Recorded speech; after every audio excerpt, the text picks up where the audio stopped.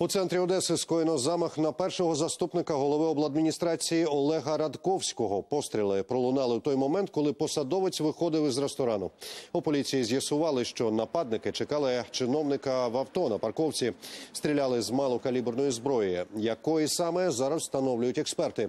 Радковський одержав три поранення. Він у лікарні під охороною. Його стан стабільний.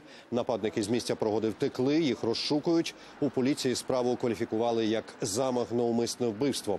Більше подробиць цієї історії в наших вечірніх випусках.